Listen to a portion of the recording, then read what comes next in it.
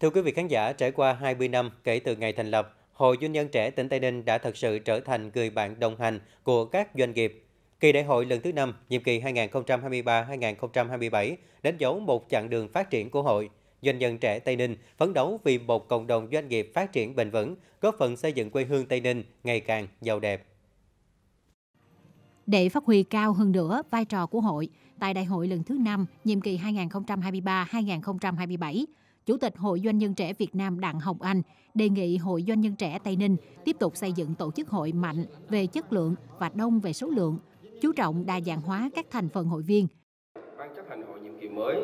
tăng cường tổ chức các hoạt động gặp gỡ, đối thoại với lãnh đạo địa phương nhằm góp phần xây dựng môi trường kinh doanh thuận lợi cho doanh nghiệp hội viên và các doanh nghiệp trên địa bàn. Tăng cường triển khai các hoạt động hỗ trợ thanh niên, doanh nhân trẻ khởi nghiệp và đặc biệt là khởi nghiệp đổi mới sáng tạo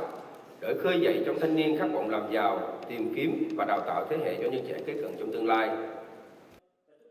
Thời gian qua, tỉnh Tây Ninh luôn quan tâm triển khai thực hiện nhiều biện pháp nhằm tháo gỡ khó khăn vướng mắt của các doanh nghiệp, như thành lập tổ công tác đặc biệt để tháo gỡ những khó khăn vướng mắt, hỗ trợ hiệu quả các doanh nghiệp, nhà đầu tư, dự án đầu tư trên địa bàn tỉnh, gặp gỡ, đối thoại giữa chính quyền và doanh nghiệp, thường xuyên chỉ đạo chấn chỉnh kỷ cương kỷ luật hành chính, tăng cường trách nhiệm trong thực thi công vụ, nhất là trong giải quyết thủ tục hành chính cho người dân, doanh nghiệp. Ủy ban nhân dân tỉnh đã và sẽ tiếp tục đồng hành hỗ trợ doanh nghiệp trong thời gian tới. Sẽ chỉ đạo các địa phương thường xuyên rà soát, nắm bắt tình hình hoạt động của các doanh nghiệp trên địa bàn, quan tâm động viên, đặc biệt là tiếp tục triển khai các giải pháp để tháo gỡ khó khăn vướng mắt tạo điều kiện giúp các doanh nghiệp vượt qua khó khăn, phục hồi, phát triển sản xuất kinh doanh. 20 năm qua, bằng tinh thần đoàn kết, tương trợ lẫn nhau, các doanh nhân trẻ và các doanh nghiệp tại Tây Ninh đã cùng nhau tìm hướng đi, tích cực đổi mới, sáng tạo để trụ vững, từng bước phục hồi phát triển kinh doanh, sản xuất, đưa doanh nghiệp vượt qua những giai đoạn khó khăn. Đó cũng là ngần ấy thời gian để đội ngũ doanh nhân trẻ Tây Ninh từng bước trưởng thành, khẳng định vị thế quan trọng, góp phần tích cực trong công cuộc phát triển kinh tế xã hội địa phương. Mỗi doanh nghiệp khi được sinh ra, hơn ai hết đều nhận thức rõ được sứ mệnh của mình và thấy được sự hữu ích của mình đối với xã hội, đối với đất nước.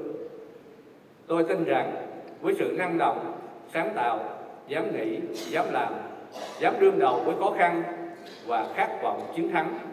doanh nhân Tây Ninh sẽ là nhân tố quan trọng để kinh tế xã hội Tây Ninh phát triển nhanh, bền vững trong thời gian tới. Tiếp nối kết quả đã đạt được, bước sang nhiệm kỳ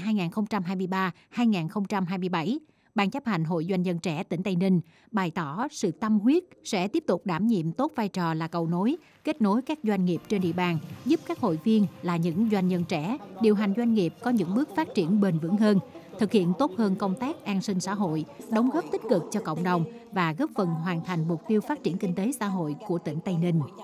Để cùng chúc mừng cho phần ký kết vừa rồi, xin được cảm ơn quý vị rất nhiều.